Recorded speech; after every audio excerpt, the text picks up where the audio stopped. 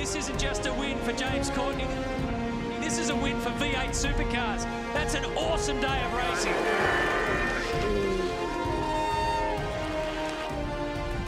Well, James, every year when the Australian Grand Prix rolls around, it's a timely reminder of the connection between Formula One and supercars, and you've probably got the biggest connection of any of us. Uh, just talk to us about, I guess, what goes through your mind every year when you get to connect with those people that were part of your very early racing career. And do you ever wonder what might have been for you? It's um, it is a tough time. It's not tough, nothing's really that hard, but it's, it's weird because you sort of, yeah, you were that I was that close and sort of there and living the world and how it was and yeah, I'd, I'd life. I said I didn't I would, I don't ever wonder what could have happened. Um, but I'm a big believer in things happen for a reason and all that sort of stuff. But it it, um, it is an unusual feeling. It's it's um, it's probably a weekend when I want to step up and have a, a good solid weekend.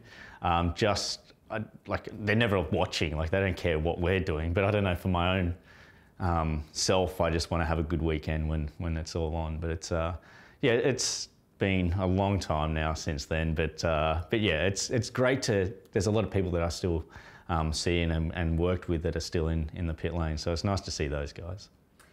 Take us back to the very beginning of your journey. Do you remember that moment or thought that sparked, I want to be a Formula One driver? What was that? Yeah, I, I know it. I was. Uh, I remember I was on the lounge watching the Formula One race, or my dad used to tape them, so I was watching it the next day. And it was the start of the, the race, and they were all on the grid. There was like hot chicks kicking about and guys were smiling, fast cars.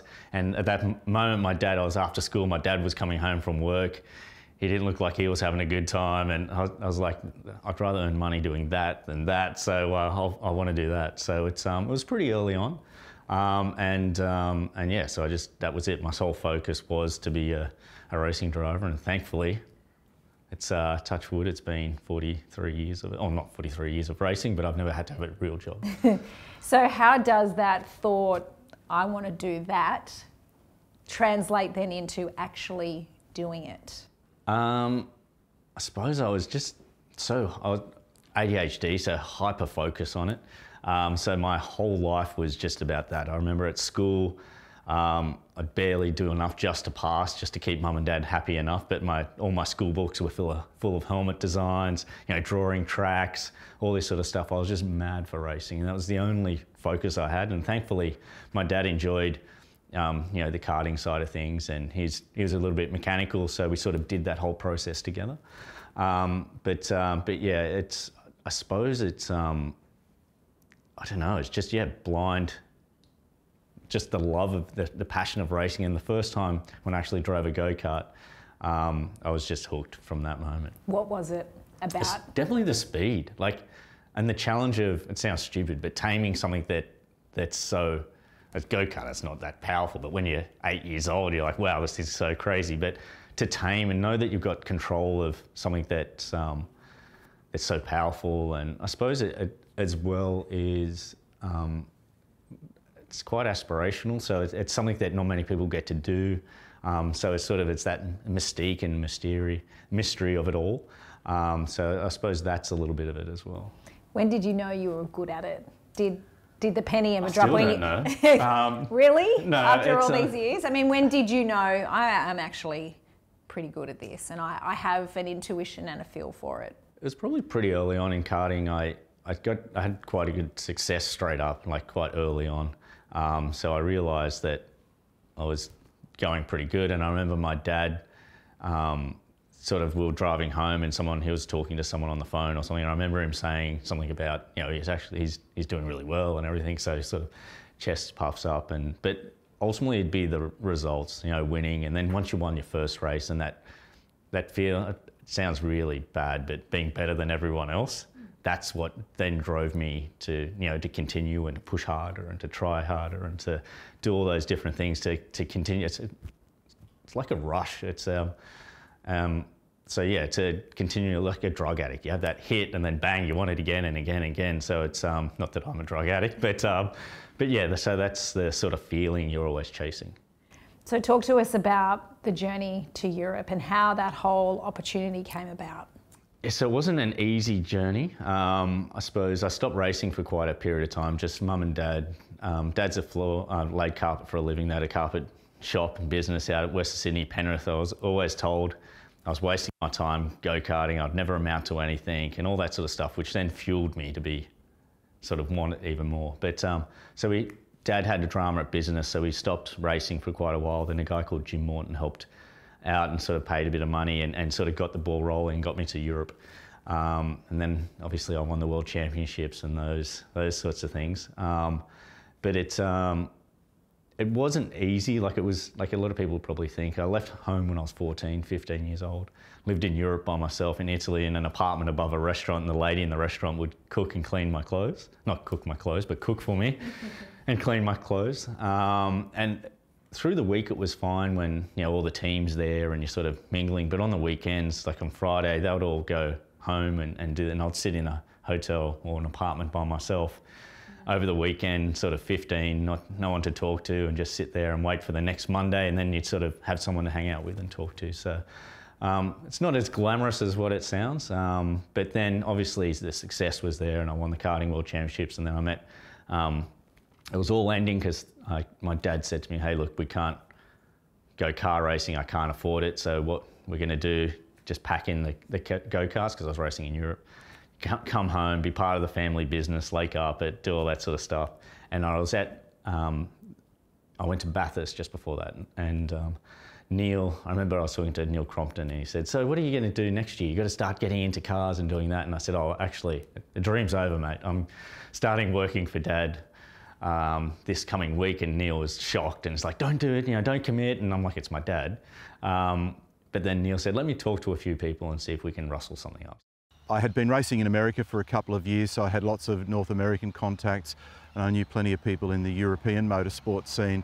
So, through the mutual friend, uh, James' dad, Jim, and another fellow by the name of Kim White approached me and said, My goodness, kid's got all this talent what on earth are we going to do? You can't be a world champion and just end up evaporating into nothing. What can you do?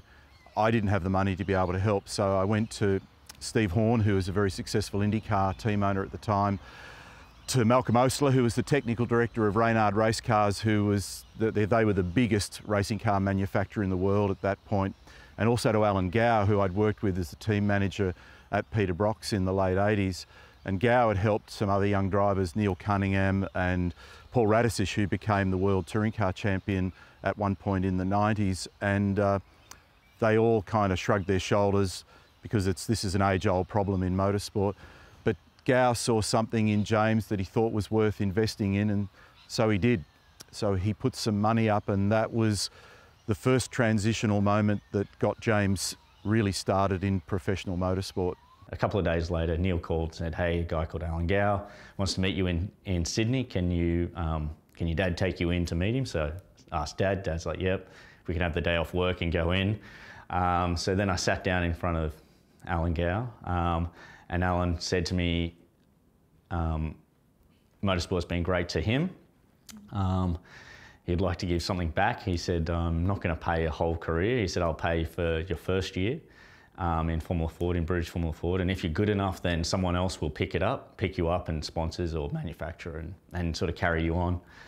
So, um, and if it doesn't work out, we had a crack. Um, but if it does work out, I own you um, and forever. But it's not forever. But um, so I, he said, don't answer the question now. Go home with your dad and talk about it. So I already knew what it was. I was going to go and do it. And then that weekend, I ended up flying back to England and, and um, went and lived with Alan and started doing British Formula Ford. Um, the first year, I, can't, I think I was fourth in the championship, maybe. Got the works drive the next year, so the team paid for the racing. Won the British Formula Ford Championship. Then got a test with Jaguar to do um, Formula 3 and F1 stuff.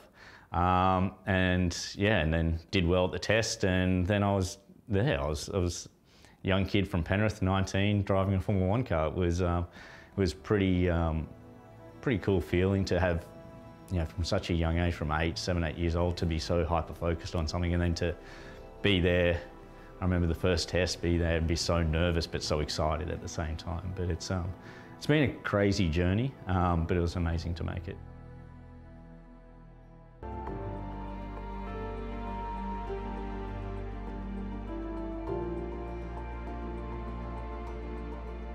So when you go back to England and you're part of the British Formula Ford Championship, what in the back of your mind did you think you needed to do to prove that you would be able to progress to a test in a Formula One Yeah, car? ultimately, I just had to win. I had no um, choice with, um, you know, there's no financial backer, guys that had there with a heap of money that, or my dad that could pay and sort of keep it going. It was every year was, if you don't win or get someone excited enough to sign you up for the next year, it's over. So that whole, even from, you know, from when I left karting, it was kind of every year was a panic. Not a, yeah, it was a panic, I'm not going to lie, where you're just fretting that you're not going to, um, that you, you needed those results. And even, like I remember when I won the British Formula 4 Championship, I couldn't do anything, you know, any more than what I had done. I won more races than anyone else, had more pole positions, all that sort of stuff. Like broke all the records, but still, I wasn't guaranteed an F3 seat or a drive in, you know, the next year. And I remember then we went to Valencia and we had to have a, a test for the, um, for the for the F3 and F1 stuff.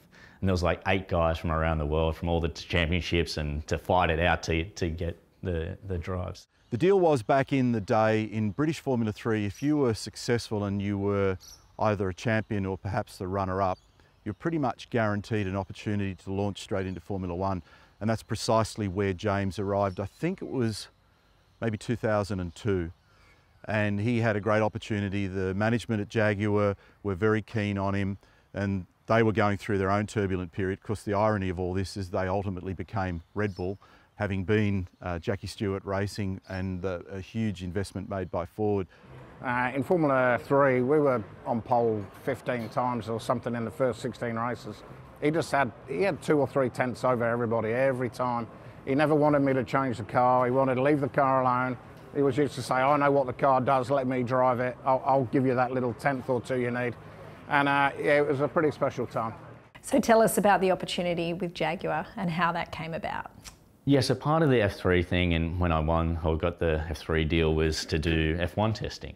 Um, so it's um, just purely from winning the, F, the Formula Ford Championship and then being the good, oh, after crashing, having a great day the next day and getting the F1 or the F3 test. Uh, drive was then you got the opportunity to be do the F1 stuff. So it was um, it was just yeah, and then they're watching how you're going in Formula Three, and if you're progressing and doing well, then I remember the first test was maybe mid-year in the F1 car. So from six months, you go from driving a Formula Ford to a Formula One car. It's um, yeah, it's quite a different power. So when did that opportunity present itself? So my first test, I I can't remember exactly. I think it was about July 7th. No, I'm just joking. it was in July or June, July, somewhere like that. And um, it was at Monza, my first test. Um, I remember going there the day before, and Andre, my other teammate, tested the day before, watching everyone test. It was amazing. You know, it was, all dream was coming. My dream was coming true. Um, the next morning, I was sitting in the motorhome, and I was like completely myself, like absolute, like I could hardly stand. I was so nervous.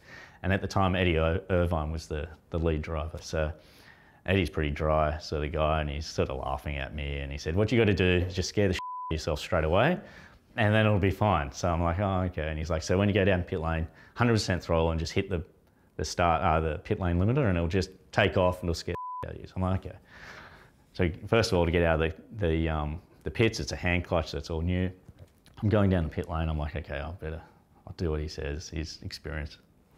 Flat, hit the thing. Holy shit, took off so fast. Like it was ridiculous. And I remember um, accelerating like crazy, and then the corner's coming at me so fast, and I broke, wobbled around the first corner. It was an installation lap, so wobbled around the lap, and then came back in, and then you have to get out for 20 minutes while they check all the the systems check. And after 20 minutes, they're like, okay, you can jump back in now, and we'll start the test.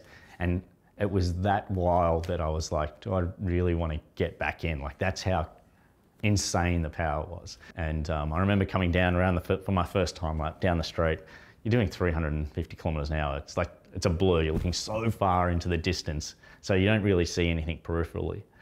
And, um, and I remember pulling the gears, going past. Geez, the pits we went past pretty quick, and you see the 300 or the 400 meter boards, 350, 300, 250, and I was like, this thing isn't going to stop. I'm, I'm going to brake here. and I remember braking and then thinking, oh, geez, and then had to change three gears to get to the corner. Like the performance was ridiculous, but it, you know, after a day's running or half a day, it all slows down and you, you sort of become accustomed to it. But it was, uh, was a pretty amazing experience for, um, for me after, you know, a little bloke from Penrith and then I was in Italy driving a million dollar Formula One car. It was, it was a pretty cool moment.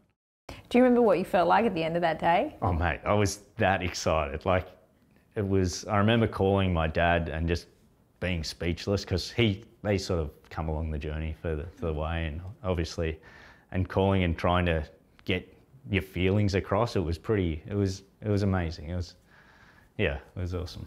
And what did your dad say? I just remember, like, I think we were both crying on the phone together, which is incredibly masculine. But, um, but it was, um, yeah, I remember him just saying how much, how proud, I can't even talk, how proud he was. It's a big deal to have been that little boy, eight years old, sitting there saying, I'm going to be that guy one day and having the opportunity to be right there on the brink of it. I mean, when you reflect on that and the journey to get to that point, I mean, there was a lot of sacrifice that went with that, wasn't there? You were a 14 year old sitting by yourself in an apartment in Italy had you not done that, you would never have been, you would never have gotten there. Yeah, it's, um, yeah, it, I suppose all of that goes away pretty quick when you, you get it, but there is so much sacrifice. And not only me doing my side, but my mum and dad for my sisters. Yeah. So I just got to pull myself together to be able to talk. But no, my sisters um, obviously went without a lot of stuff. Um, so that was, uh, yeah, that's hard to take and to, um, I suppose when you're living it, you sort of don't really, you're so focused on what you're doing. I suppose it's since I've gotten older and you sort of. And you're a dad. Yeah, and you're a dad and you come back and I've got relationships with obviously my family, but with my sisters, it's, it's, um, yeah, I feel bad that I've sort of taken stuff off them along the way. But, yeah. but they're so proud of you. I mean, they've been your biggest cheerleaders through your career. Mm. Mm. Mm. You're working hard to make me cry, aren't you, Jess? No, no, I'm not. I mean, these are the but, things that but no, they're real. Um, and I think that's obviously what makes it so much more special, I guess. And and because it's like racing. When we win, you feel guilty that you're the one guy standing on the podium. Like there's 20 guys that have worked their asses off to to get that result, and unfortunately, you're the only guy up there. And it's same with, I suppose, with my career. Like it's there's so many people along the way that um, I wouldn't be here if it wasn't for them. So let's go to the crash at Monza. What do you remember about that day? I, my memory, I probably, like, legitimately, I don't remember much. Like, I remember, the last thing I remember was seeing the wheel go past me, and I was thinking, that's not good. Um, and then seeing that go past, and then I hit the curb on the exit of Ascari because I got no brake. So I pushed my foot down, and there's no, nothing because one of the front wheels off the ground, the other one, the rear um, whole rear corner, right rear corner's come off. So then it's pulled the floor off the wing, the side pod. So I've got no drag. So the car isn't, because with an F1 car, if you back off, it breaks harder than, you know, our supercar, because just through the drag and all that sort of stuff. But so none of that's working, no brakes. The wheels come off and I hit the curb and I remember being in the air and thinking, should I let go? Because they say to let go of the steering because it's going to break your wrist. And then I remember waking up with um, someone yelling at me, and I was still holding on with my left hand. And I went to talk on the radio because the radio was on the right. And I couldn't move my arm. And then I started to panic and I opened my visor and it was all like red. And I remember wiping my face and it was sort of, I couldn't really see too well. And they were yelling at me to stay in the car. And I was like, because I could see the carnage. I'm like, last thing I want to do is still be in here. So anyway, so I wrestled out and they helped me out of the car and, and um, yeah, and that's, that's about it. But I don't remember the impact. How fast were you going? Um, it was about like into there, I think it was 325 kilometers an hour or something. So, and then I went backwards at like 68 or something. So it was quite a bit. And all the red, or what I couldn't see was blood coming out of my eyes. Like my eyes were bleeding, like tears were blood, ears blood coming out, nose, mouth, other orifice, orifices lower with blood coming out. So it was pretty serious. It was just from the, um, the G forces on the impact.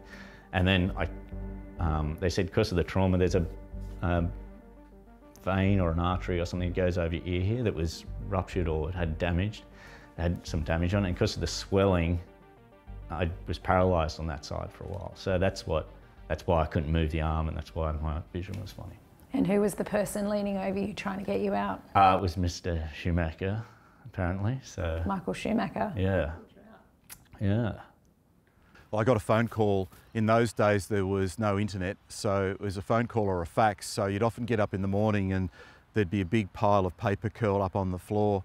Uh, but the phone call came to say that he'd had an accident and it was a bad one. So your first response is, is he okay? And he, and he wasn't fantastic. Uh, so the impact on him was enormous and it took him out of contention to win the British Formula 3 Championship. And I don't know that I've ever really got to the bottom of how much it rattled him physically and mentally, but it did. Yeah, so he went to Monza, he was testing. I was, I was obviously across his program there. We were chatting. I heard he'd had the accident. He got hold of me that night. They flew him home on, the, I think it was a Friday night. I went and got him Saturday morning. And while all that was happen, happening, I'd got hold of Dr. Sid Watkins and uh, Gary Hartstein, and we went and took him. I went and took him for a, a, brain scan the next morning, and yeah, the result of that was that there was severe con concussion and a lot of brain swelling on one side of his brain, and they uh, basically said you can't drive a car for five weeks minimum. If you have another impact, it could kill you. Did you actually have a real understanding of just how badly you'd been injured? Um, no, I probably yeah, I, I kind of did because I couldn't move my arms as much as what. And I, the thing is, when I was in Italy as well, because I lived in Italy, so I could speak Italian, but I couldn't speak proper Italian. I was slang like guys chat. So I was in the hospital and I'm trying to talk to the doctor about and understand how much movement, like if was it going to come back. Was it completely going to come back, was I only going to have a little bit, what was going on, and I think that was the hardest part to deal with, and because you're alone. Um, you, it's um, yeah, it was pretty, pretty. That was the scariest part. But once I got out and back to England, it was much better. Speaking to your mum and dad after that had happened, what that conversation was like. I remember calling them at the airport and just saying I'm okay, but I had like the crazy, as you can imagine, craziest headache. So I didn't want to talk and I couldn't open my eyes because it just hurt like crazy. So I just said to him, hey, I'm all right, I'm going back to England.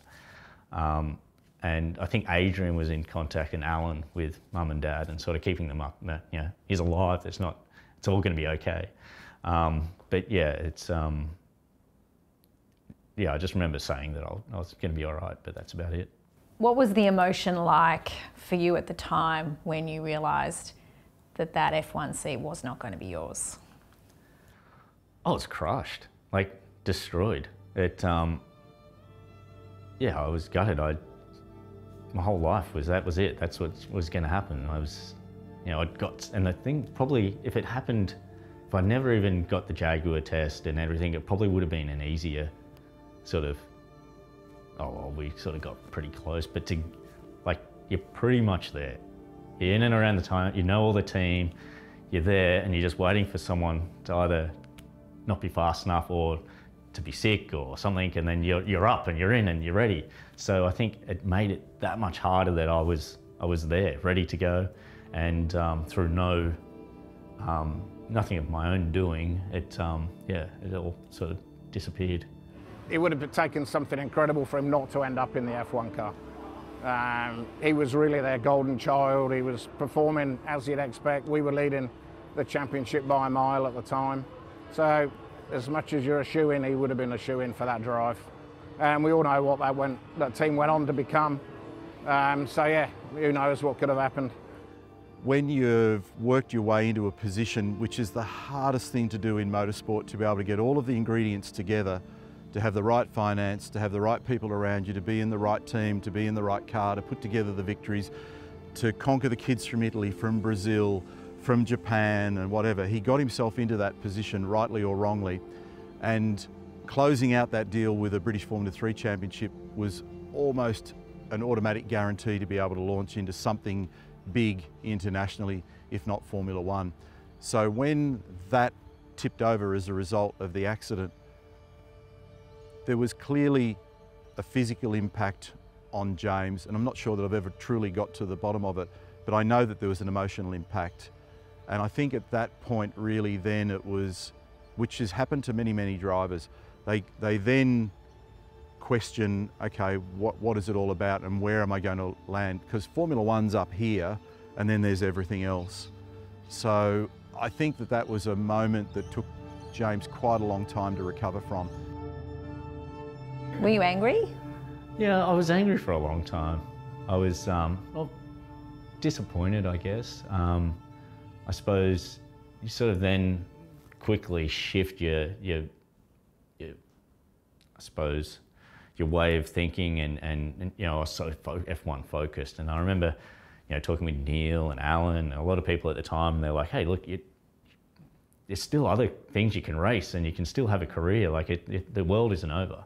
So it was just, um, you know, those first six months were pretty crap. But then once I started racing other things and I moved to Japan and started doing Super GT and, and F3 and Formula Nippon and driving these all these other cars, I was then, I suppose my love for racing came back really quite quickly when I started doing Super GT because the cars were racing really quite close. You could hit, you could, so it reminded me a lot of karting.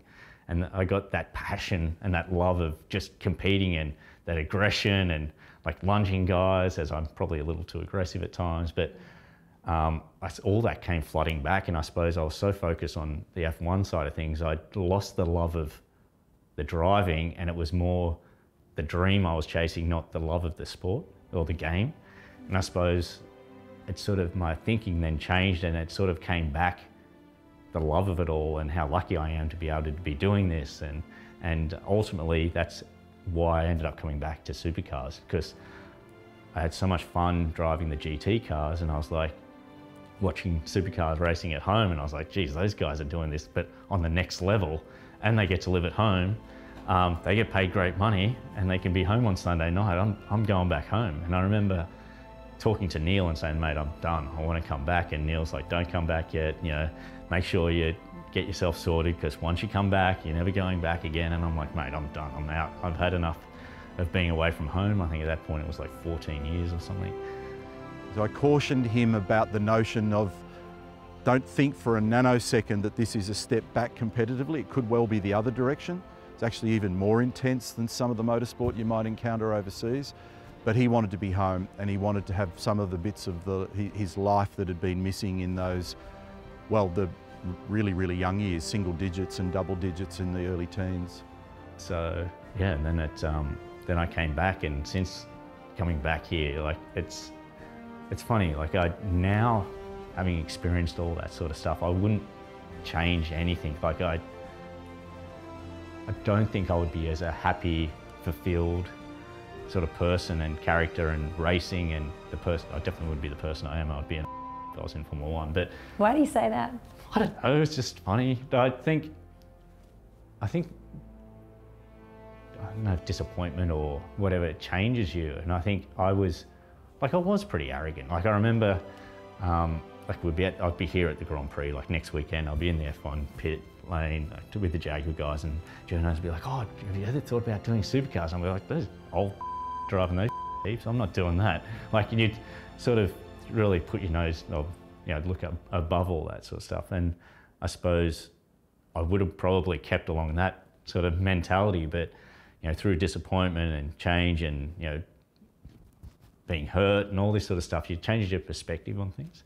And um, you know, I I love what I do. Like there's there is nothing that comes close to being on the start line with a thing on the limiter. There's 24 other idiots ready to run into you, or however many there is, 23, and you know, watching the light and just like the anticipation of releasing the, the, the line locker and dropping the clutch, and then it's all hell breaks loose, and that's that is the most amazing feeling in the world. Nothing can ever come close to it. So that's why I wake up every morning and keep smiling, doing these interviews, do stupid things with the wiggles, all that sort of stuff, so I can keep doing this because it's like I love what I do. Like it is so bloody cool. And it's um, awesome to be able, from eight years old, to be do something you love every day of your life until I'm, you know, I'm 43, still doing it. And not going to hang up the helmet anytime soon. Definitely not. So it's, um, I've got another couple of years to go before I have to argue and convince someone that I'm still good enough to do it. But, um, but yeah, I'm having a ball. You make a really interesting point around having to bend to the pressure that you knew you had to perform, that you had to get results and have success if you were going to be able to continue to doing it. How has that whole concept served you in your career? Do you think that's actually been the magic bean in in driving you to to find the best out of yourself and reach your potential? Yeah, pressure makes diamonds. Yes. So I, um, I, lot of, you can look at two things, uh, things all different ways. But I suppose with me, when you know the pressure comes up, and or you, you know, you're with a big team and you, you're at the race and you're about to win, or you're trying to win a race, or whatever. It's for me, it, yeah, I'm here because of my results. I'm here because of the, you know, the guy I am and the results and how driven I am and the focus and, and all that sort of stuff. So I'd probably more confident or competent on who I am and my ability. So I don't, I, th- I think that comes from, know, having to fight so hard for it all at such a young age and being told, like, mate, you're of Western Sydney white trash, you're never going to make it, you're dreaming, all that sort of stuff. Um, all the way through school, told you never amount to anything. And so that's driven me initially. And then I think having to not have, not having someone pay the whole way and, you know, all that sort of stuff, having to defend for yourself, live by yourself, all that. I never questioned my own ability or who I was. And I think a lot of that comes from the people that you're surrounded with at a young age and you grew up with and, and people putting those sorts of values in your life. Um, so I think just being so sure about who I am, but um, has probably been the thing that I've sort of learnt to embrace and not be shy about being competent and, and you know having the confidence that you you know you're going to be able to de to deliver. So I never shy away from anything. Like load the pressure on. The only reason I, there's pressure on me is because you guys think I can do it. So let's just go and get it done. Um, I'm not sort of someone that panics and thinks, oh geez, everyone's looking. It's going to be, know. So it's um yeah, I suppose a lot of it comes from your upbringing and and you know things that happen along the way. It's gratifying to know that in some small way you helped contribute to somebody's dreams for him to be able to be a professional racing driver. The fact that he didn't make it into Formula One, I, I don't see that as a black mark against either him or me or anybody around him. I think there's whatever there is 8 billion people on the planet trying to be one of the 20 Formula One drivers is a pretty tough equation. So the very fact that he was able to sit in one, to drive one, to be considered to drive one, I think that's a feather and that, that's a good thing. He should have been in Formula One. He should have been, you know, you're not going to say Alonso or any of those guys, but he should have been now at that point where he's thinking, I'm getting too old for Formula One like Fernando is, still delivering the goods. He would have had a 10, 15 year career, you know, at the front of Formula One that's, that's the level of talent he had. And that's the drive and determination and, and natural skill. The guy has so much natural skill. You can argue that he probably doesn't, you know, he's too much of the joker outside of the car, but inside the car, the, the car he's just got this talent to feel the tyre. You know, he was so good at, at, getting the most out of the tyre and that, that natural ability. He would have, he would have had a good career in Formula One as you sit in the twilight of your career and look back on all the lessons you've learned and the person you've become as a consequence of those, if you were going to tell eight year old James who was sitting in front of the TV dreaming of becoming a Formula One driver about the journey or give him advice, and it might not be you, it might be another kid out there that had yeah. has the same dream that you had, what would you say to them? Um, I suppose that one quote I sort of live by, I suppose, my whole life has been you only get a sore neck looking backwards. Like, deal with what's in front of you and what you can change. You know, don't dwell on what, you know, if a bad decision you've made or, or whatever. It, it's done. Let's move forward and focus on what's in front of us rather than what's behind us. So it'd be, it'd probably be that. Never ever give up. Never give up. I'm still, look at me, I'm 43, still guys that I could be my son I'm racing against. My teammate could legitimately be my son, which is which is cool when you towel them up. So it's um, but yeah, it's yeah. I don't I don't think I'll ever lose that drive and that passion and that determination because that start line is so bloody cool. Well, we are so pleased that you found your way to us at supercars eventually, and you've been such a stalwart of the championship for such a long time. Thanks for sharing your story today on Fox Sports. No, thank you, Jess.